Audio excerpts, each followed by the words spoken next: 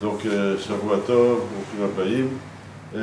Comme vous avez vu sur l'affiche, je m'appelle Daniel Krefet, je, je, vis en Israël depuis plus de 40 ans, j'ai grandi à Paris, d'où mon français euh, qui est à peu près correct, des fois avec quelques fautes sûrement. Et je suis envoyé aujourd'hui pour euh, faire cette conférence par euh, l'organisation sioniste mondiale, qui est elle-même financée par euh, un organisme qui s'appelle OFEC Israël. Que fait l'organisation sioniste mondiale? Pour vous rappeler, elle a été, montée, elle a été fondée en 1897 au premier euh, congrès sioniste à Bâle. 1897, ça fait déjà plus de 120 ans. Et, et aujourd'hui, il y a plusieurs départements. Et dans le cadre du département de la promotion de l'ALIA, ils font, euh, nous faisons euh, essentiellement un Ulpan hébreu. Je crois qu'il y en a même ici. Euh, dans ces locaux. Euh, il y a une morale, là. Il y a une morale. Bonjour. Euh, des voyages d'études et euh, des conférences euh, de personnes qui vivent depuis longtemps en Israël pour nous présenter Israël, pour actualiser un peu les informations. Il s'avère que souvent les gens restent avec des choses qui sont plus tellement à jour et puis ça change chaque année, les choses évoluent et on est content de vous les présenter. Voilà, j'ai choisi le sujet de présenter l'économie d'Israël aujourd'hui. Donc, euh, surprise ou concrétisation des prophéties, on peut regarder ça comme ça ou comme ça. Après, j'ai mis un point d'interrogation, c'est à vous de juger ou de voir. Il s'avère qu'il y a pas mal de choses qui se passent et puis on peut les interpréter comme on veut. Alors, je me suis basé en fait sur un article qui a été publié il y a à peu près un an, quand on a annoncé les premières élections. Vous savez que maintenant on va vers les troisièmes élections en Israël. Il y en a eu les premières au mois d'avril 2019, on a passé les deuxièmes au mois de septembre 2019 et on va vers les troisièmes au mois de mars 2020. Et, et donc euh, le journaliste qui a écrit cet article, il a, dit, il a regardé un peu la situation en Israël, il a dit c'est vraiment dans un pays démocratique en général quand il y a des élections, le principal enjeu c'est l'enjeu économique. Les gens euh, veulent à droite, à gauche, euh, réforme sociale, réforme économique, tout ça. Et là, c'est pas du tout euh, à l'ordre du jour. Donc, euh, ça l'a un peu intrigué. Et il a analysé, la situation économique et c'est ce qu'on va voir quels sont ses arguments et c'est les données qu'il a analysées. Et puis, en contrepartie, euh, il y a un livre qui est sorti il y a à peu près un an, écrit par, disons, qui a été dirigé par, s'appelle, c'est le livre qui est ici, que vous voyez à Nevois. En fait, c'est le grand rabbin Shmuel Eliaou, le fils du Rav Mordechai en fait il a pris plein de prophéties et dit regardez, euh, il y a des choses qui se passent, euh, seulement il faut les mettre noir sur blanc pour euh, un peu voir ce qui se passe. Donc c'est un peu voir les deux aspects des mêmes choses, mais présentés d'une façon, présentés de l'autre, après on verra. Donc pour en arriver aujourd'hui, on ne peut pas commencer directement à entrer dans la piscine. aujourd'hui, il faut passer par le vestiaire. Il y a 72 ans quand même d'histoire qui se sont passées depuis la création de l'État d'Israël. Il y a évidemment des choses qui ont commencé avant la création de l'État d'Israël, mais on ne peut pas faire non plus une rétrospective. Euh, on est dans le cadre de. La, toute la Torah sur un seul pied, donc euh, en une seule. Euh, sur un seul, une seule. en français diapo. On va essayer de résumer. On peut résumer l'histoire de l'économie d'Israël en fait en trois périodes depuis la création de l'État d'Israël. La première, la période de 48 à 67, ou de 48 à 85, pardon, euh, donc plus de, euh, presque 40 ans d'histoire où l'économie était socialiste, euh, et basée essentiellement sur la production agricole, les moshavim, les kibbutzim, l'industrie limitée, un tout petit marché, une toute petite population. Pendant ce temps-là, il ne faut pas oublier aussi quelques données. Il y avait en 1918 seulement 60 000 habitants, surtout en Palestine. En 1948, déjà, on dit 100 fois plus, puisqu'il y avait 680 000. En 1953, ça avait doublé en quelques années, avec une alliance massive des juifs de, essentiellement des pays arabes. Irak, Iran, Afrique du Nord, Yémen, beaucoup de toutes ces alliances qui ont été organisées par le Mossad dans les premières années de l'État. Et pendant cette période aussi, des plus de 40 ou une quarantaine d'années, euh, il y a eu quand même pas mal d'événements. La guerre de 48 euh, était, qui a beaucoup, qui a eu, avec énormément de victimes, puisque plus de 1% de la population euh, est, tom, est, est, tombée au front. il y avait 600 000, donc c'est plus de 6 000 soldats qui sont tombés, c'est énorme. essayer de transformer ça, vous savez qu'en France, il y a plus de 60 millions de personnes. S'il y avait 600 000 soldats qui tombaient, c'est affreux, quoi. C'est énorme. bien sûr, il y a eu la crise de, Suez en 56. Il y a eu la guerre des six jours en 67, la guerre de Kippour en 73. Tout ça, c'est des événements qu'on regarde dans une perspective de beaucoup d'années. ça se suit et on n'a pas le temps de, se remettre qu'il y a déjà quelque chose d'autre. Parce que finalement, quand on regarde qu'est-ce que c'est entre deux, deux périodes de guerre, c'est très rapide. Toujours est-il que c'est la première période qu'on peut considérer comme période où l'économie était socialiste. Deuxième période, 1985-1990, c'est encore une fois c'est schématique, on ne va pas jouer sur euh, exactement quelle date et tout ça, mais c'est la période. Qu'est-ce qui se passe pendant cette période? On arrive à, en 1985, les gens, le monde moderne euh, s'ouvre, les transports, le, téléphone, les télécommunications, le, les prix des, transports aussi, des, avions, tout ce qui est transporté est moins cher. Et donc euh, la population s'ouvre vers le monde occidental et veut bénéficier de la technologie d'un côté. pour vous donner une anecdote, pour comprendre, il y avait quand même un fossé entre ce qui se passait en Europe occidentale et ce qui se passait en Israël.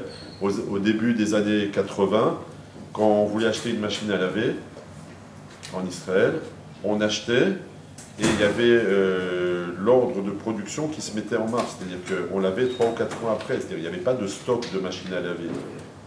On construisait les machines à laver en fonction de la demande, donc ça faisait trois mois.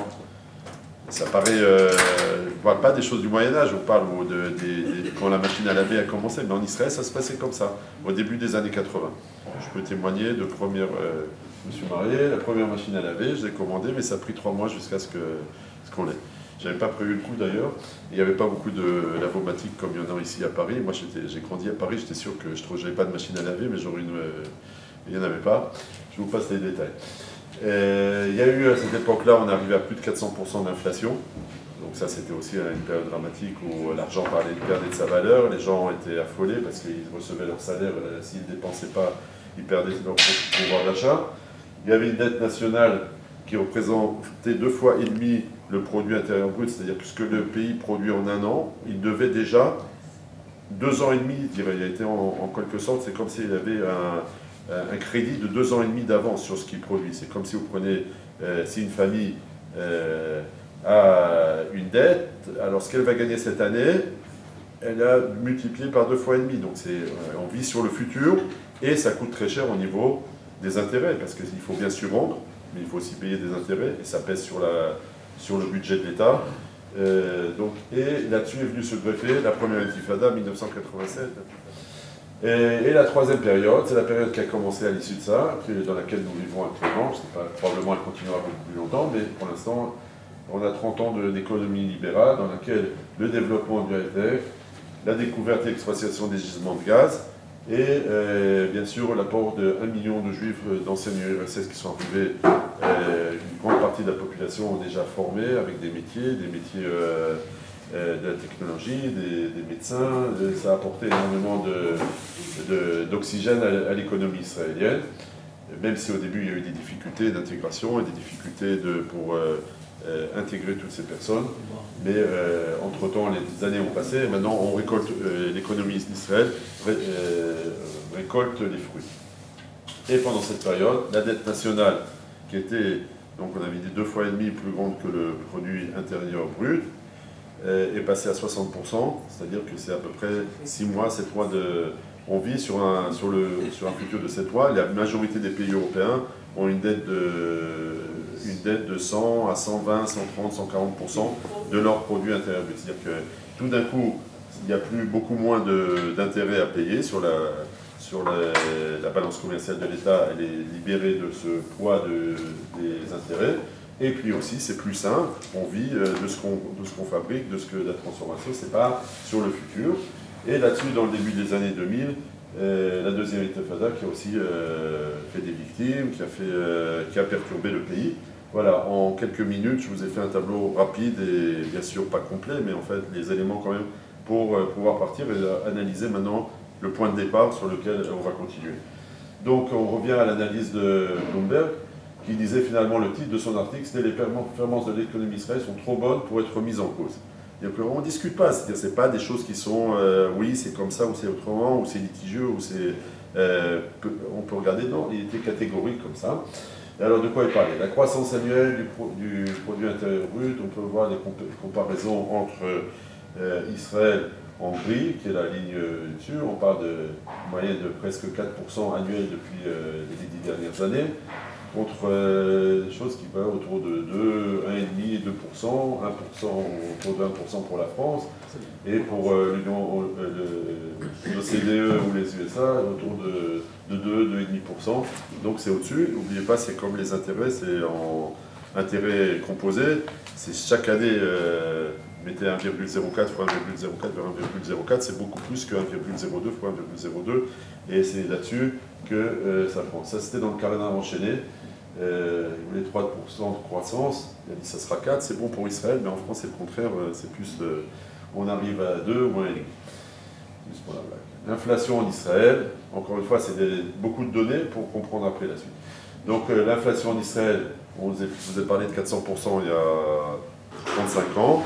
Mais aujourd'hui, elle est pratiquement. Euh, euh, il n'y a pas d'inflation, on parle même moins 1% en 2015, 0,2, 0,3, donc c'est une inflation qui ne dérange pas depuis quelques années, depuis une dizaine d'années.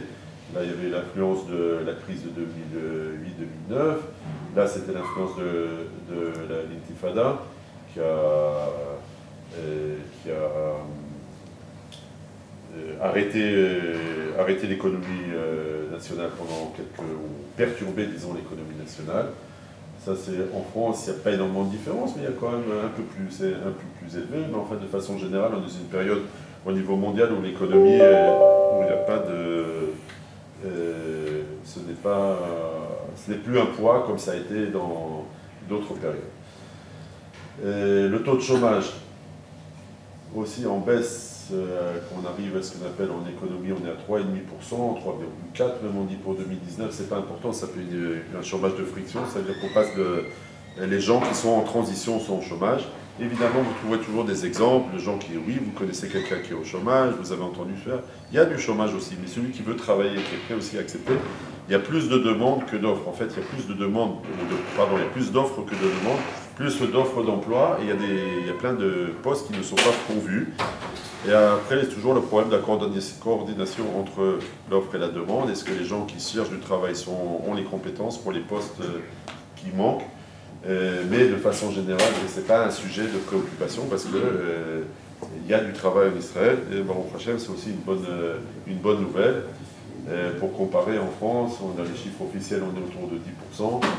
Certains disent que c'est des chiffres qui ne reflètent pas la vérité, mais enfin, on a pris les chiffres officiels on ne va pas rentrer dans la polémique. on a déjà parlé de croissance. il faut aussi comparer Israël à des pays qui sont euh, de, la même taille. En Israël, aujourd'hui, il y a 9 millions euh, d'habitants. On a une croissance donc, des 18 dernières années qui arrivait à sur plus de 69%. En Autriche, dans la même période, 8, euh, au point de vue de la population, ça ressemble mais ça stagne au niveau de la croissance. On passe de croissance, pas une croissance moyenne, croissance euh, de cette, toute cette période. La même chose en Suisse, qui est à peu près un pays qui ressemble beaucoup à Israël, parce qu'au niveau de la superficie, c'est seulement deux fois plus grand qu'Israël.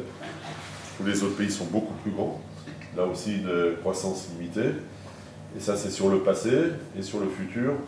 Euh, Israël fait encore partie des pays qui, vont, qui sont, d'après l'OCDE, avoir un, pour 2020, avoir 3,5, 3,6, enfin une croissance euh, importante euh, par rapport aux autres pays. Ça, c'est les quatre premiers qui mènent les, pays, les 34 pays, si je, me trompe bien si je me trompe pas, de l'OCDE. On revient de nouveau les mêmes données, 70, 69% de croissance cumulée en Israël. Que des bonnes choses, par contre, 4,9% euh, bah, 4,9 euh, c'était pour l'Europe euh, et l'Asie du Centre et 33 pour l'Amérique du, du, Nord. Le monde entier à 34%, évidemment la Chine et, le, et, les Indes, euh, font grimper les chiffres. Et même des pays comme le Moyen-Orient et l'Afrique du Nord qui se développent beaucoup, nous sont beaucoup en arrière par rapport à ce qui se passe en Israël. Encore des données. Alors on parle beaucoup, tout ça, ça influence sur le niveau de vie. Mais il y a aussi une autre chose dont il faut parler, c'est la qualité de vie, parce que c'est le niveau de vie, on peut avoir des niveaux de vie extraordinaires, mais est-ce qu'on a une bonne vie? Est-ce qu'on est content de ce qu'on fait, de ce qu'on a, de la façon dont on vit? Alors il y a, depuis pas mal d'années, hein, le rapport mondial du bonheur. Ils prennent euh, plein de... Ce qui est bien, tout ça, c'est que en fait, c'est des données qui viennent, qui sont aujourd'hui, on sait analyser, Big Data, toutes ces choses-là, on arrive à analyser plein de données. On met tout ça dans les ordinateurs et on arrive à avoir des indices qu'on peut comparer parce que c'est tout le monde est la même chose. On a pris des données parallèles dans plein de pays.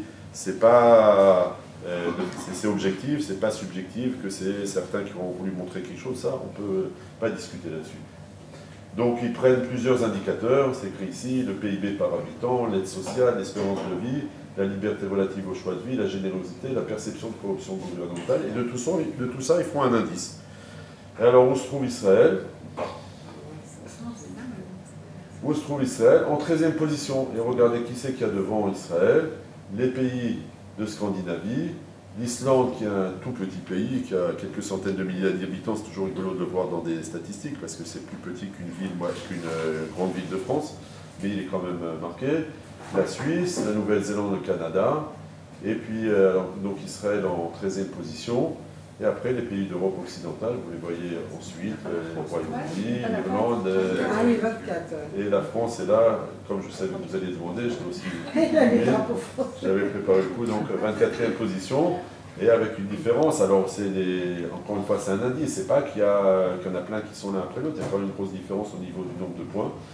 Voilà, donc c'est. Et alors, on a, vous connaissez tous ce qu'on dit, qu'on dit à Israël Alors, une nouvelle maintenant, une nouvelle. Euh, euh, un nouveau slogan, on dit Am Israël Chai, Be Osher. Osher, c'est le bonheur. Pas le euh, Osher avec Aleph, pas Osher avec le Aïn.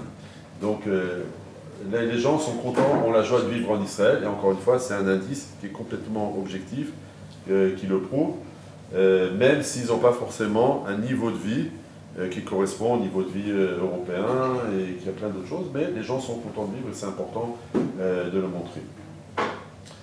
Évidemment, il y a des choses à améliorer. On ne peut pas dire que tout est formidable et que, y a que, que c'est le paradis sur Terre et que tout est rose. Donc, dans les choses à améliorer, on parle, euh, et on en parlait aujourd'hui, euh, au point de vue de l'indice de corruption, Israël est placé en 34e position sur 160 pays. Évidemment, ça pourrait être pire. Tous les pays arabes sont en, euh, fin de liste, où ils commencent par, le, par la fin. Mais euh, en Israël, euh, ça pourrait être mieux si déjà on arrive à avoir de bons indices dans plein d'indices. Pourquoi rester en 34e position? Donc c'est quelque chose à améliorer et qui n'est euh, pas, acceptable, qui n'est pas normal.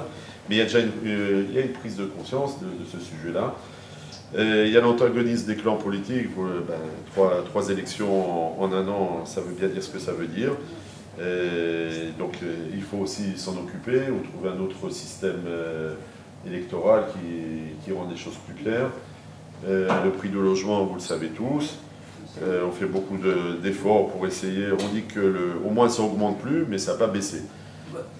Euh, peut-être oui, en euros ça continue à monter parce que mais ça on est pour rien si l'euro baisse par rapport au shekel. Mais en shekalim, il y, y a un ralentissement, mais c'est encore cher, c'est sûr. Et il y a un grand retard en fait là aussi, c'est l'offre et la demande. Il y a un grand retard sur la, le nombre de de, début de construction, de construction. Donc euh, c'est un problème qui reste euh, à régler et qui ne sera pas facile parce que euh, au Hachem, on a une bande croissance démographique, donc c'est pas qu'il y a eu un baby boom et tout d'un coup il y a une période où il y a plein de gens qui arrivent à l'âge adulte et qui veulent habiter, ça continue. Donc c'est un, problème qui, se résoudra finalement. Euh, il y a au niveau de la justice une abondance de lois et de décrets qui ne euh, sont pas toujours très logiques, qui ont été construits l'un sur l'autre de façon euh, pas des fois anachronique ou des fois des choses qui vont l'un contre l'autre, enfin qui diminuent la, liberté de l'individu. C'est des choses encore une fois dont on parle, donc il y a conscience, donc on, essaie de les améliorer. il y a aussi le problème, voyez la carte d'Israël, une grande concentration de la population autour de l'agglomération Tel Aviv et toute, euh, euh, pas seulement Tel Aviv, on peut dire de Natania à Ashdod, euh, plus de la moitié de la population du pays concentrée là, et donc il y a une grande différence entre la, le centre du pays et la périphérie.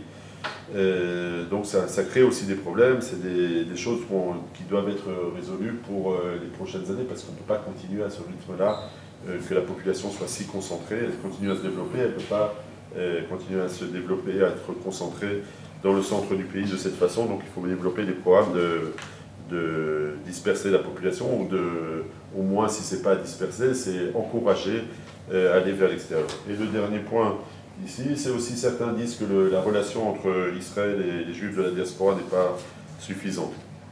Il faut l'améliorer aussi.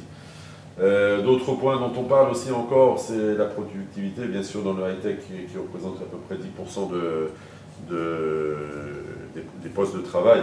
Il n'y a pas de problème de productivité, mais dans tout ce qui est low-tech, des vieilles, de vieilles industries, et des, euh, pas assez euh, performant et il y a des problèmes de productivité, c'est-à-dire le nombre d'heures investies pour produire un, produit, un produit par rapport à ce qu'on peut comparer avec les pays les autres pays industrialisés. Euh, Là-dessus, Israël est en retard. Et euh, encore une fois, il y a une prise de conscience, mais il faut aussi euh, résoudre les problèmes. beaucoup de problèmes, mais il faut, on s'en occupe. Et encore une fois, déjà on dit que quand on a conscience du problème, c'est déjà la moitié de la solution. Et il faut encore, dans, ce qui est dans les investissements publics, dans les services publics, la santé, l'éducation, la formation professionnelle, il y a encore beaucoup de choses à améliorer. Il faut libérer encore, euh, il y a beaucoup de, domaines qui sont euh, soumis à l'intervention exagérée du gouvernement. on essaye, il y a eu beaucoup de, choses qui ont été améliorées dans ce domaine-là, mais encore on, rencontre euh, des difficultés là-dessus. Il y a aussi certains, non c'était plus pour ça de parler de ça, des, syndicats qui sont très forts dans les ports, dans la société d'électricité tout ça, donc euh, très difficile de faire des réformes. Et euh, le dernier point qui est aussi euh, ici en France actuellement à la une, c'est bah, l'influence du vieillissement de la population qu'il faut en fait ajuster les systèmes pour que ça soit gérable, bien qu'on le verra plus tard, la situation est beaucoup plus saine en Israël qu'elle n'est dans beaucoup de pays du monde. Voilà, donc euh, ça c'est en quelque sorte, quand on présente l'économie d'Israël, on a fait un tour avec plusieurs indices. Bien sûr qu'on peut rentrer sur, la monnaie développer plein d'autres choses, mais euh, le temps ne nous permet pas non plus de, trop développer. Je voudrais euh, aborder donc l'autre partie. Donc, à moins que vous vouliez poser des questions jusqu'à maintenant. Alors on continue. Donc il y a différents domaines qui ont été prophétisés, si on peut dire, par les prophètes. Et euh, on va aussi les, présenter. Toutes ces bonnes choses, en fait, euh, ce n'est pas forcément une surprise. C'était déjà écrit depuis euh, quelques millénaires. Donc le retour des exilés, vous le savez bien, Kibbutz Galouyot, la résurrection de la production agricole, aussi un sujet qui, qui, apparaît dans beaucoup de prophéties, la résilience économique, la construction du pays, la qualité de vie, et ce qu'on appelle le On a retrouvé à la fin de sa vie David Ben Gurion quand il est, déjà plus euh, Premier ministre, il s'est retiré. Il est interviewé par un, par un journaliste. Notre croyance de l'appartenance de cette terre à ce peuple, si cette terre n'a pas été promise comme il a été décrit selon Dieu, alors par qui cette terre a été promise Si toutefois cette promesse a existé, et quelle différence faites-vous entre la promesse et celui qui reçoit la promesse? Nous avons une histoire de 4000 ans sur cette terre. Il n'existe aucune histoire d'autre peuple sur cette terre. Nous avons été expulsés deux fois et nous n'avons jamais désespéré de revenir. Nous avons été expulsés par les Assyriens et nous ne savons pas ce qu'ils sont devenus avec les dix tribus. Nous avons été expulsés par les Babyloniens quand il y avait la royauté de Yehuda et nous savons ce qu'ils sont devenus. Les Juifs sont revenus avec l'accord de Koresh, pas les Babyloniens mais les Perses. Après cela sont venus les Grecs, ils ont régné, ils ont voulu dominer, nous avons combattu contre eux et nous avons eu raison d'eux. C'est pour cette raison qu'ils nous haïssent. Après cela sont venus les Romains, et encore une fois, ils nous ont expulsés. Mais les Juifs ne se sont jamais découragés de cette terre. Alors pourquoi ne se sont-ils pas découragés? Difficile à dire. Personnellement, j'ai une explication. Ils n'ont jamais pensé que c'était la fin. Ils ont été dispersés par tous les peuples de la terre et il n'existe pas d'autre peuple qui a été autant dispersé et qui a quand même, malgré cela, survécu. Et pas seulement survécu, ce peuple est resté debout. Et ces peuples parlaient toutes les langues différentes. Euh, en Perse, on parlait le perse. Au Brésil, on parlait le portugais. En Allemagne, on parlait l'allemand.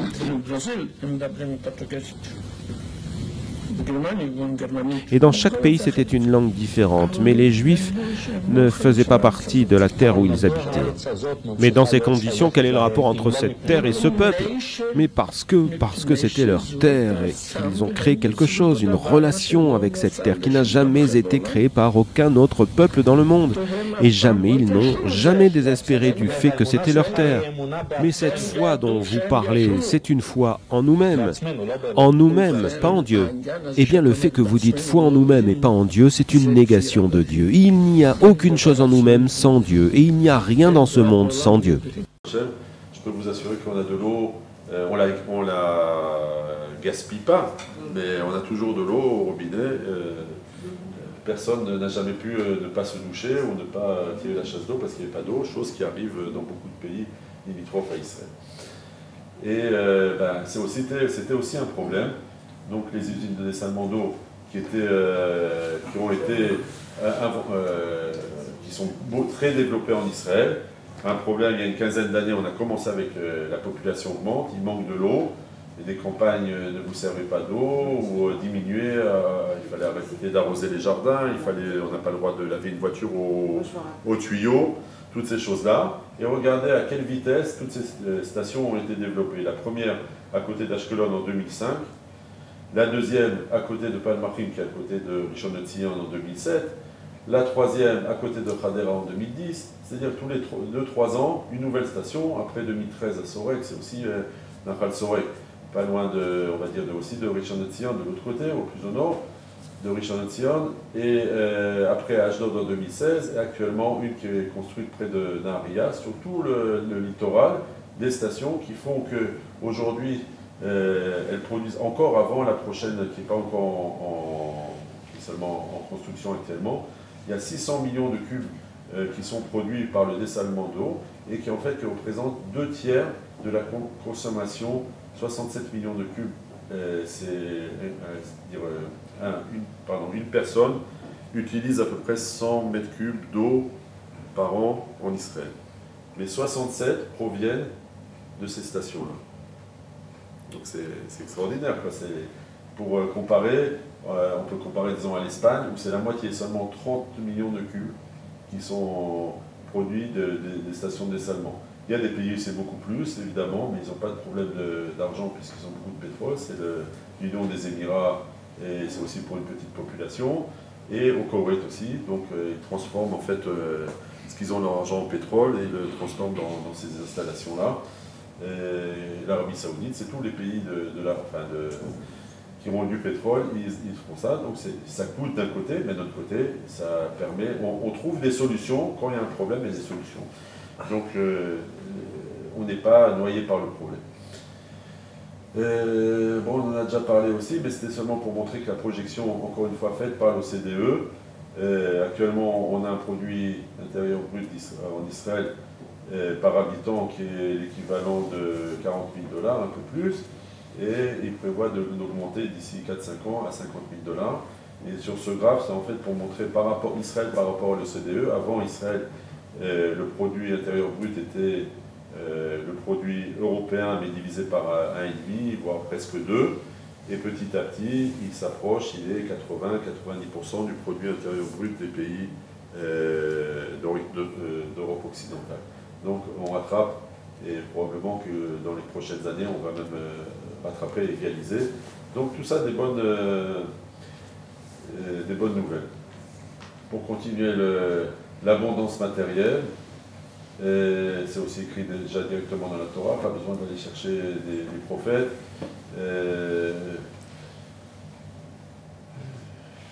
l'Éternel te rendra supérieur à tous en félicité, par le fruit de tes entrailles, celui de ton bétail, de ton sol, sur laquelle tu as juré tes aïeux donner. L'Éternel ouvra pour toi son bienfaisant trésor, le ciel, pour dépenser à ton sol des pluies opportunes et faire prospérer tout le labeur de ta main. Alors, le labeur de la main, aujourd'hui, c'est peut-être pas forcément le labeur dans les travaux agricoles, et dans tous les travaux, et tu pourras prêter à ma nation, mais tu n'emprunteras plus. Donc c'est toujours, et c'est ce qui se passe aujourd'hui, Israël a des réserves de dollars très grosses, puisqu'il y a des investisseurs et il y a beaucoup de dollars qui se mettent en Israël, et on investit énormément dans la recherche et le développement, puisque d'après ce ça c'était en 2010, en Israël,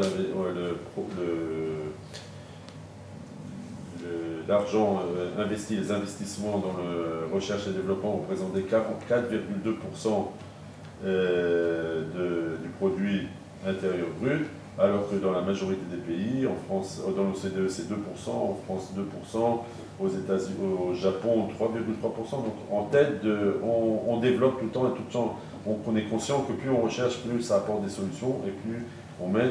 J'ai vu tout à l'heure que euh, sur les 100 innovations qui sont qui ont, dans le Times, ils font chaque année la, liste des innovations présentées des pays présentes. Alors Israël a obtenu pour 2019 9, des 100 nouvelles innovations. Mais n'oubliez pas que c'est un tout petit pays, qui n'a que 9 millions d'habitants. On va voir plus tard, euh, ça part dans la population du monde. C'est pas tellement difficile à calculer, puisqu'il y a peu plus de... Il y a 7 milliards, plus de 7 milliards d'habitants sur la planète, et 9 millions, ça fait un peu plus que 1 pour 1000. Mais seulement, on a 9, 9 des 100 innovations, elles viennent d'Israël. C'est des choses. Euh, une d'elles, d'ailleurs, c'est l'eau. C'est transformer euh, l'air en eau. Pour des, c'est déjà des appareils dont on se sert en Afrique, des endroits où il n'y a pas d'eau. Et il suffit d'apporter l'électricité, ou alors ils arrivent même avec une, combinaison, de panneaux solaires qui font de l'électricité, qui font marcher cette machine qui transforme l'eau et qui transforme l'air en eau. En fait, il y a de décompose euh, l'eau, l'air, et euh, ça permet d'apporter à boire à des, populations qui n'ont pas de, qui manquent d'eau. Le nombre de startups en Israël, vous savez aussi que depuis, j'ai un livre qui a été écrit il y a une dizaine d'années, Startup Nation, on est toujours autour de 2400 2500 startups en Israël, ce qui est impressionnant aussi. Et euh, de nouveau, euh, c'est à peu près, que ce soit pas le même pas souple, mais ça ressemble, tu devras sur bien des peuples et on te donnera plus. Donc c'est des choses qui se concrétisent aujourd'hui. La sagesse vous savez de quoi il s'agit ici sur ce champ photovoltaïque. Sa surface est comme 660 terrains de foot. L'un à côté de l'autre. Ça permet de. Euh, c'est dans le, dans le Negev, à Chalim. Donc c'est tout, c'est 55 000 panneaux solaires l'un à côté de l'autre, et puis des panneaux, des grands panneaux solaires, qui sont orientés vers cette tour qui, euh, euh, reçoit la, réflexion du soleil, et ça permet euh, de, plus loin, déjà parlé, ça permet de, produire de l'électricité pour 120 000 foyers.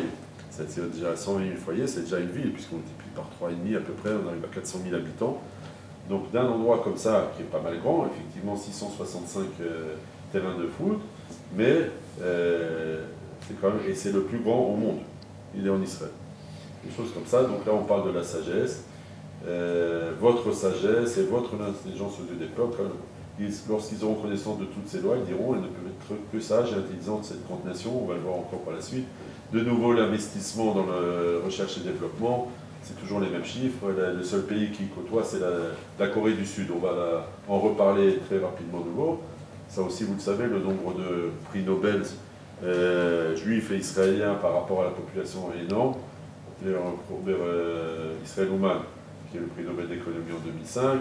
Et donc, euh, proportionnellement encore, euh, les Juifs représentent ici 0,2%, je pense que c'est plus presque de 1,5%, de 0,15%, enfin très peu, et à 112 fois par rapport à sa proportion dans la population du monde, il y a 112 fois plus de prix Nobel qu'on pourrait espérer selon la moyenne. Donc c'est pas marginal, c'est plus. Euh, dans le domaine de l'économie, dans le domaine de la euh, médecine et physiologie, de la physique, de la chimie.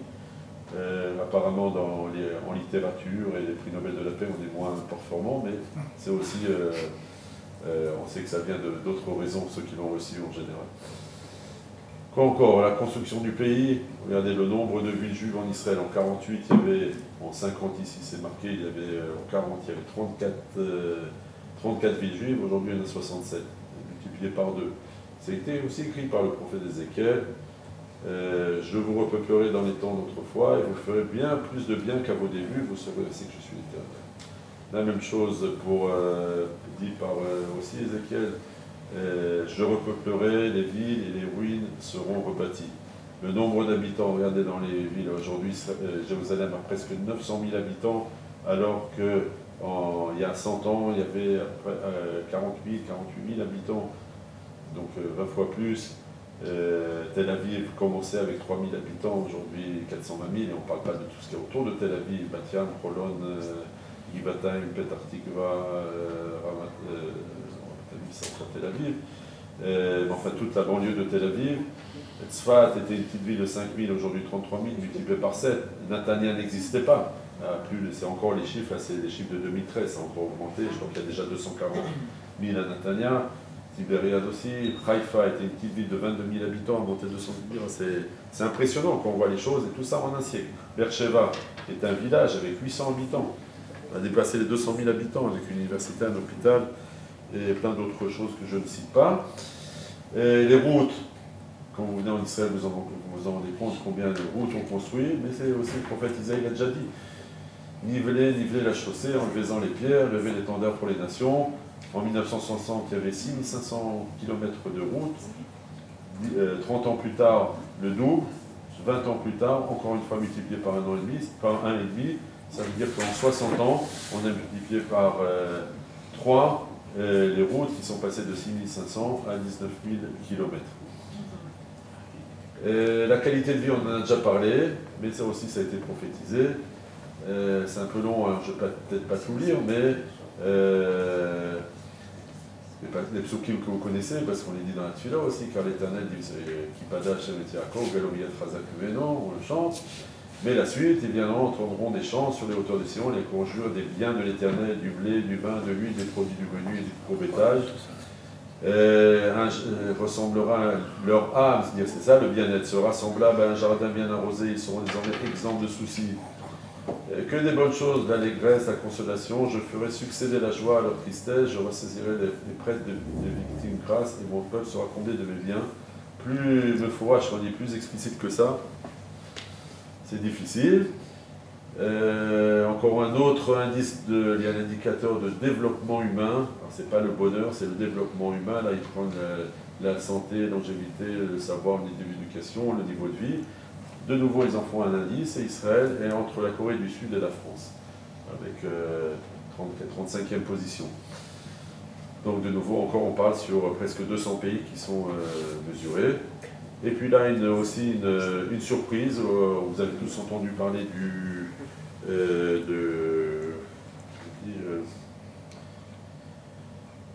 menace, la menace démographique, parce que les Arabes ont plein d'enfants et les Juifs en ont moins. Eh ben, j'ai une bonne nouvelle à vous annoncer. Si on va directement en bas du tableau, 2017, les Juifs de 3,16, les Arabes 3,16. La, seule, la, nouvelle est encore meilleure parce que si vous regardez la tendance depuis 25 euh, ans, ils sont en baisse. Ils étaient à 4,18, ils sont même montés à 4,37.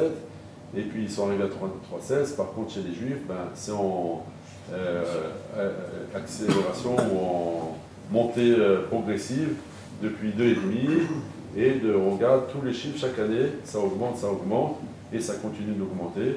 Et euh, bah, ça reflète le, bien-être et le bonheur que les, que les, Israéliens expriment dans, bah, dans les indices qu'on a vus. Euh, on sait que les choses sont liées. Et donc finalement, euh, on peut dire que la, menace démographique, ça fait partie du passé, et je peux vous assurer que c'est un sujet on j'ai pas amené les chiffres des années 70. Euh, je me rappelle quand je suis arrivé en Israël, c'était dans la titre, le titre des journaux. Il y avait beaucoup d'universitaires qui parlaient de ça. Comment on va faire avec euh, la population euh, qui n'augmente pas assez, tout ça. Mais il y a eu des surprises. Un million de juifs qui sont venus de, l'ancienne URSS, le taux de fécondité qui augmente. Et, vous voyez, c'est aussi Israël en fait, avec 3,1. Encore une fois, hein, c'est tout ça c'est pas des, graphes qui sont faits par les Israéliens, c'est tout des choses, vous voyez, c'est en français, euh, ça vient, la majorité vient de, l'OCDE. Et eh ben, Israël est le pays où il y a le taux de fécondité le plus important au monde aujourd'hui. Même des pays euh, du tiers-monde et de ça n'arrivent pas. Et, enfin, bien qu'on sait que ça a beaucoup baissé. Et là, on est sur la ligne de 2,1, c'est ce qu'on appelle la ligne de, pour conserver la population, on est au même niveau de remplacement. Avec 2,1, la population reste euh, stable euh, au niveau des chiffres. Donc le, seul, le pays où c'est comme ça aujourd'hui actuellement, si j'ai bien fait, c'est la Turquie ou l'Irlande, à peu près cela. Euh, la France même, avec toutes les populations, n'arrive pas à ce taux de, remplacement.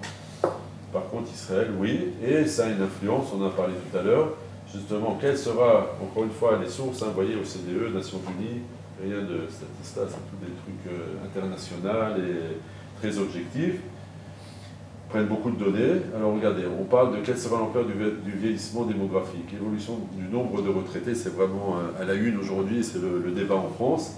65 ans et plus pour 100 actifs qui ont entre 20 et 64 ans. Donc on prend le point noir, c'est ce qui se passe aujourd'hui, le point bleu, ou la barre, c'est pour 2050. Donc déjà aujourd'hui au Japon, si on va vers le bas, il y a à peu près 50 euh, retraités pour 100 actifs.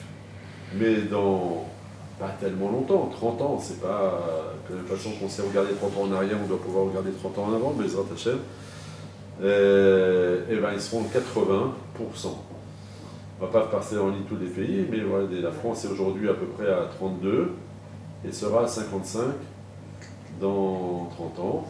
Et Israël actuellement est à 20 ou 21 et sera à 32 euh, dans 30 ans, donc sera au même niveau que la France est aujourd'hui. Ça veut dire qu'il faut se reposer sur les lauriers, mais euh, c'est quand même une balance démographique qui permet un essor, une, la suite de la, de la croissance euh, au, niveau emploi. Euh, par contre, tous ces pays qui sont avec des chiffres qui vont aller en augmentant, c'est impressionnant et c'est catastrophique, parce que euh, c'est-à-dire que quand vous arrivez à des chiffres comme ça, c'est-à-dire que c'est une personne qui travaille pour elle, pour sa famille, et encore pour une personne qui est déjà à la retraite. Et ça pèse. Et donc ça retarde et c'est un grand handicap. Voilà, et encore un dernier indice que j'ai rajouté il n'y a pas longtemps parce que c'est tout, récent. Donc, euh, pardon. Euh, encore une fois, l'US News qui n'a aucun intérêt à placer, en, analysant des données, Israël en huitième position euh, des pays selon leur, force de, power, la force du pays. Donc Israël est en huitième position. Alors, mais si vous regardez la population des pays qui mènent les États-Unis 300 millions, là aussi 145, la Chine 1 milliard 400 000, enfin des populations gigantesques. Quand on met Israël dans l'ordre des populations, il est placé 101e et il se retrouve avec des populations qui sont en tête du peloton. On a dit tout à l'heure, pourcentage de la population mondiale, Israël est 0,11% de la population mondiale. Si on regarde la surface de ces pays, vous avez des pays comme la Russie qui sont 823 fois plus grands qu'Israël ou euh, la Chine 467 fois. Donc c'est euh, Israël, est un tout petit pays euh, qui, est donc beaucoup plus petit que tous ces pays-là. Le seul pays qui ressemble ici, je vous l'ai déjà dit tout à l'heure, c'est la, Suisse qui est placée en 14e position, qui, qui, est juste avant avec ces chiffres-là, enfin, qui ressemble au point de vue de la population Israël mais qui a quand même une superficie de nous. Mais Israël, donc c'est comme la Suisse en fait. Et, quand vous regardez tous ces pays, même les Indes, avec 1 milliard, 300 euh, millions d'habitants, un pays qui est 150 fois plus grand qu'Israël, euh, et, et, dans 17e position. C'est impressionnant. Qu'est-ce que 9 millions de 8 millions et demi de peu importe c'est le chiffre 9 millions c'était en 2019 maintenant les derniers chiffres qu'on connaît c'est quand même des choses qu'on ne peut pas ne pas y rester, euh, ne pas s'étonner et, et, dire ah c'est normal ou ça. C'est impressionnant. Voilà, et donc le dernier sujet dont on a parlé, c'est ce qu'on appelle Tikkun parce que Am Israël, à la fin des temps, apporte au monde. Et regardez, on a parlé donc maintenant des Indes avec 1,3 milliard d'habitants. Ben, il y a deux ans et demi, le premier ministre des Indes est venu en Israël. Est venu en Israël, donc lui avec une population qui est encore une fois euh, 150 fois plus grande que celle d'Israël. Un pays énorme, hein, ils dit, de, on a toujours appelé ça, c'est comme un continent. Le, la, les, Indes un énorme pays. Il est venu en Israël, il est venu s'intéresser sur les, sur les solutions au niveau des eaux, au niveau des, eaux salubres, au niveau de plein de choses. Mais il vient apprendre Israël et euh, contrairement à ce que certains disent, ben, il s'avère que pendant les 30 dernières années, le nombre de pays avec des relations diplomatiques a augmenté de 80 à 160. Donc c'est encore une fois quelque chose d'important. Et ça aussi, c'était prévu, ou c'est euh, le prophète Isaïe, prophétie connue, euh, donc les pays, les, nations vont venir se renseigner, vont venir euh, euh, gravissons la montagne de l'Éternel pour gagner la maison du Dieu de Jacob, afin qu'il nous enseigne ses voies et que nous puissions suivre ses sentiers. Car c'est de Sion que sort la doctrine et de Jérusalem la, parole du Seigneur. Alors on peut expliquer la Torah, est-ce que c'est la Torah vraiment la Torah ou est-ce que c'est ce qu'on, tout toute la sagesse qui existe dans Israël Chacun l'interprétera comme il veut, mais c'est sûr que dans une synagogue, on va dire la Torah, mais c'est aussi euh, c'est ce que le Israël peut apporter euh, aux nations. Euh, dans un autre, à la fin, ça c'est à la fin de Ishaïaou, c'est aussi toutes les nations, les peuples seront témoins de ton triomphe et tous, tous les rois de ta gloire. C'est ça un peu quand si on transforme, on, peut mettre un, sous-titre à cette photo. quand le premier ministre d'un pays énorme, avec une population énorme, qui, est très fort et tout ça, vient en Israël et euh, pour se renseigner, pas seulement une visite amicale, c'est une visite euh, de business aussi pour apporter. Et je peux vous assurer qu'il y a beaucoup d'Israéliens qui vont euh, en Chine, en, Inde pour, pour vendre, pour apporter des solutions qu'Israël a trouvées pour plein de pour l'agriculture, pour les eaux, pour, et pour plein d'autres domaines aussi. Et pour continuer, je pensais, j'ai rajouté ça hier ou avant-hier, vous avez peut-être entendu parler aussi de ce sujet-là, euh, qui a un rapport avec ça. Il s'avère que la Corée du Sud, qui est un pays, comme on a vu, qui a investi énormément, ils se sont demandé pourquoi les Juifs étaient tellement intelligents et qu'est-ce que, quelle est la particularité. Ils ont analysé, ils ont recherché, ils ont dit c'est parce que les Juifs étudient le Talmud. Et il s'avère qu'aujourd'hui, tous les élèves en Corée du Sud étudient le Talmud, pas pour le pratiquer, pas pour l'appliquer, mais pour, pour faire par, euh, fonctionner euh, les ménages. Les ménages, exactement. Et alors là, c'est une agada qui est traduite en coréen. Il n'y a pas de juifs en Corée, il y a peut-être des hommes d'affaires qui sont là-bas, mais ils étudient. Donc c'est un peu, c'est aussi impressionnant. Quoi. Eux, ils sont arrivés à la conclusion. Je me demande avec les chiffres là-bas, je n'ai pas été vérifié, combien de, d'habitants en, Corée du Sud, mais si ça se trouve, il y a plus de gens qui étudient le Talmud en, Corée du Sud qu'en Israël. c'est comme vous savez qu'il y a plus de Chinois qui parlent l'anglais que, d'Américains. Parce qu'ils sont 5 ou 6 fois plus, alors il suffit qu'un sixième parle et ils ont dépassé les Américains. Voilà, donc euh, c'est beaucoup de données. Après, à vous de réfléchir.